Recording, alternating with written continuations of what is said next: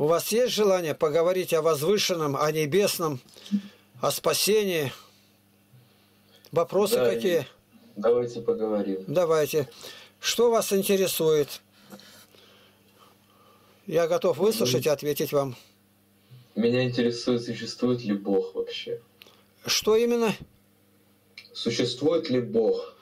Ну а куда же он делся бы? Самое лучшее доказательство, что Бог существует, это вы. Вы сами на себя посмотрите, какой сложный, какой слаженный организм. Как все внутри и снаружи работает для одной цели, чтобы Бога прославить, Творца Вселенной. И глаза, и уши, и брови, и волосы, все. Самая высшая красота во Вселенной – это человек. А вы в православии там? Да, мы православные. Православные? Выходим в храм, молимся Богу и считаем наша священная книга. Вот она. Библия. А вот Библия, допустим, у православных и Библия у тех же самых, которых вот недавно запретили, как их, свидетелей Иеговы, она отличается или она одна и Ну, та же? свидетели Иеговы, это не надо даже считать сектантами. Они Библию полностью отвергли, написали свою книгу и на- назвали «Новый всемирный перевод». Обманщики. Там То есть написано... она, это не та Библия, Это нет. у вас, Э, да? Нет, а там не, там не Библия. Просто написали книжку и все. Она никакого отношения к Библии не имеет. Вот у баптистов свидетели, это адвентисты седьмого дня, там харизматы бывают, у них наша православная Библия, но они из нее 11 книг выбросили, 11 книг оторвали.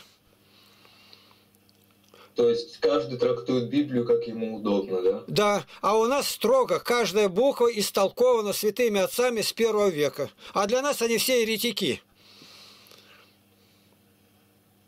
Все понятно. До свидания. Слава Христу! Если вы хотите на наш YouTube попасть, а, называется «Во свете Библии». У нас 11, это 14 с половиной тысяч роликов. Мы деревню православную строим с нуля. Если у вас... А, Да, а ссылку на канал можно как да, «Во свете Библии».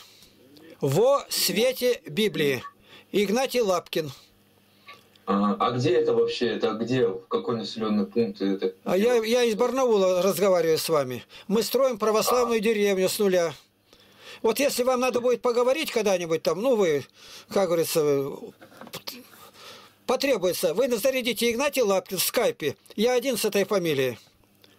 А, хорошо. Игнатий Лапкин, обязательно запишите. Вот, Сейчас, подождите. да. Так. Игна-? Игнатий Лапкин. Игнатий Лапкин. Да. Если вы зарядите, зарядите в YouTube, это наш канал выйдет. Он называется «Во свете Библии». «Во свете Библии». Тоже добавьте еще. «Во свете Библии». Вот вы, допустим, ну, не имели возможности что-то там религиозно узнать. Если поставите во свете Библии слово «сайт», откроется наш сайт. Он может быть самый большой во всей мировой сети. Там только 50 книг аудио мной насчитанные. И как зайдете во свете Библии сайт, 55 папок. Там я отвечаю студентам на 4124 вопроса. 55 названий там а, Бог, баптизм, православие, иудеи, мусульмане. И мне вопросы задают, даже ткнешь, вопросы одни пошли. Вопрос ткнул, дальше развернется ответ. Притом ответ основа, что Библия говорит, что святые отцы говорят, что каноны церкви говорят, что жития святых. По четырем параметрам каждый вопрос. А вот как вы считаете, Россия в будущем станет исламизирована? Станет что? Исламизирована ли Россия станет в будущем или же нет? Да мусуль- мусульмане-то они сами исчезнут все. Почему это? Почему? еще- Это Исчезнут. самая развитая религия в мире. О, о, одна будет религия на земле. Во главе с Иудеем из колена Данова, со столицей мира в Иерусалиме. И мусульманство вообще исчезнет, его духу даже не будет. Они готовы сейчас принять антихриста. Обрезание у них все-все совпадает. А христиане многие не согласятся, будут казнимы. Спасутся только, вот как Лыкову там где-то в тайге или в пещерах. Написано, претерпевший до конца спасется. И этот царь еврейский будет царствовать три с половиной года, 42 месяца. Это все уже предсказано в Библии. Апокалипсис, 13 глава. Москва сгорит в один час. 17-18 глава. И когда это произойдет? Ну, когда? Перед этим мировая война пройдет, а в нее погибнет 2,5 миллиарда человек. О, Господи. Это Библия говорит об этом. Надеюсь, я уже умру к тому времени. Да Бог его знает. -то. Смерть не страшна, если ты с Богом будешь. Если ты Христа не принял как своего Спасителя, Я что не боюсь смерти, серьезно говорю. если боюсь ты Просто принял Христа, что Он твой Спаситель, умер за тебя, и ты у Бога просил прощения, покаялся, то ты можешь быть в Царстве Небесном. вообще, А как вы считаете, вот э, ребенок, да, вот он рождается, Да. он младенец, его нужно крестить сразу же? На восьмой день. уже в более сознательном возрасте, там, допустим, когда ему уже будет хотя бы лет 10. Но это мусульмане так рассуждают. Здесь надо по-другому смотреть. Все ветхозаветнее в Библии, а Би- Библия это Ветхий Новый Завет, было тенью будущих благ. Тень. Вот, допустим, там ягненка кололи, а в Новом Завете Христос ягненок, он заклан был, убит на кресте. Там был жертвенник, на который жертву ложили. У нас жертвенник крест, он на кресте распятый. Там, Это, да. Ну, 2000 лет назад э, родился Христос, и 33 год жизни он был распят. Ну так все-таки нужно э, крестить детей с Я по- пояс- поясняю, что Господь установил то, что ребенок обрезан должен быть в восьмой день. А обрезание, это вторая глава 11 стих послания к Колоссянам, говорит, что оно указывало на крещение. Нынешнее обрезание – это крещение. А раз оно в восьмидневном возрасте было, значит, в восьмидневном надо крестить. Обрезание, в смысле, ну, обрезание это как вот у мусульман сейчас, да. А почему Э, вот... От, от евреев взяли, это не мусульмане, это от Авраама идет. У А Авра- почему сейчас православные не делают обрезания? Вот? Потому что оно указывало как тень на будущее. Потому и не ука- нет его. Потому что оно нянькой было. Ветхий Завет нянькой. Он довел до совершеннолетия. А теперь мы уже живем по другому закону. В Ветхом Завете написано было «люби ближнего, ненавидь врага».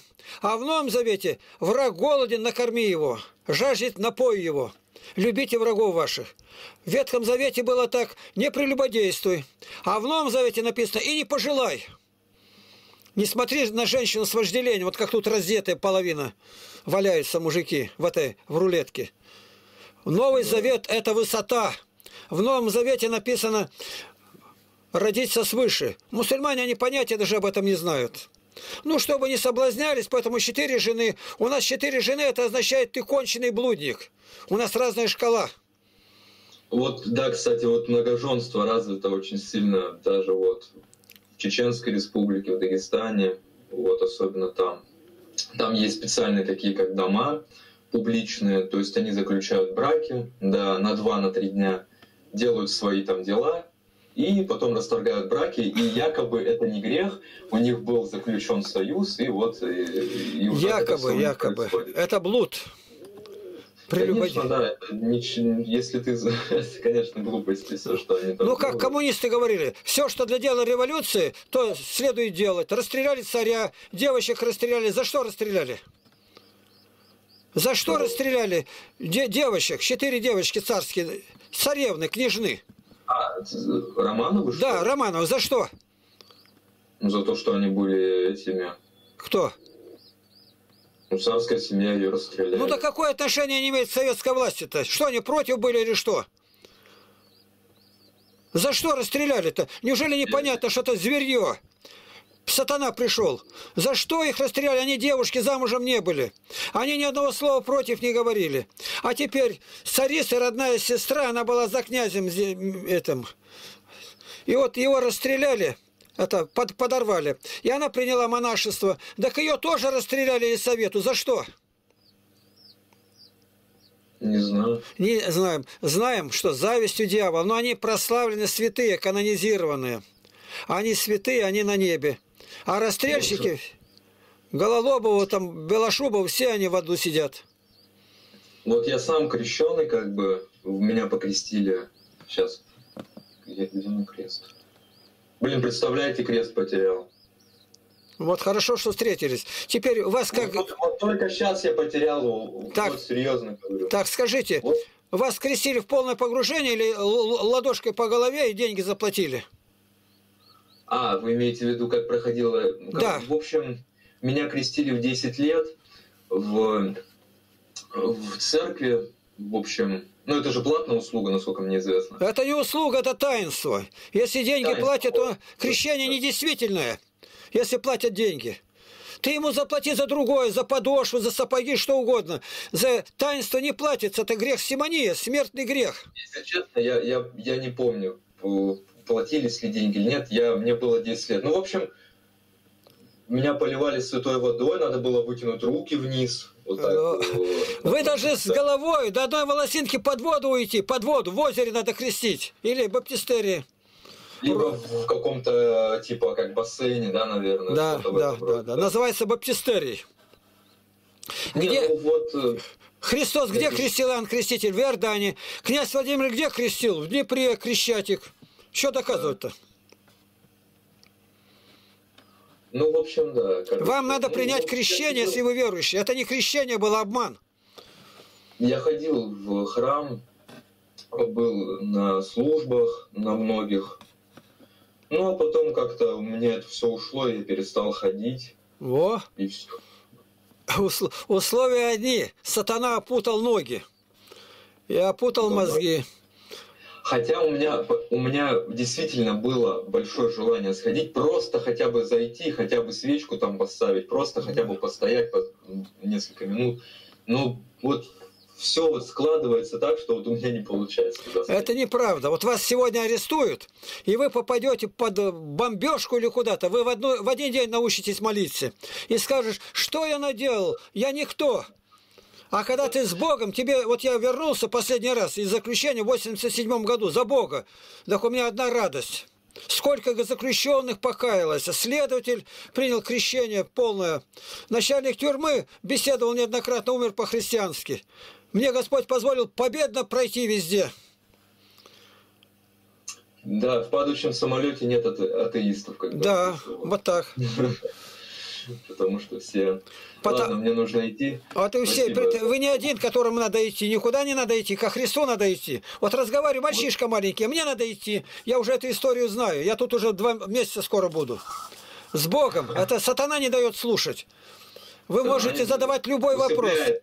А Сатана меня усыпляет. Да? Да, вы знаете, если вам потребуется э, встретиться, вы запишите Игнатий Лапкин. Я уже записал. Да, и зайдете в скайпе, в скайпе зайдете. И меня скажите, есть вы напишите, чтобы я вас принял там, и, и скажете, мы разговаривали здесь. Я вам отвечу на ваш вопрос. Потому что я много лет вел занятия в университетах, в радиопрограммы там, и поэтому у меня опыт 56 лет. Отлично. А сейчас вы где находитесь? Я нахожусь в городе Барнауле. Мне 80 лет.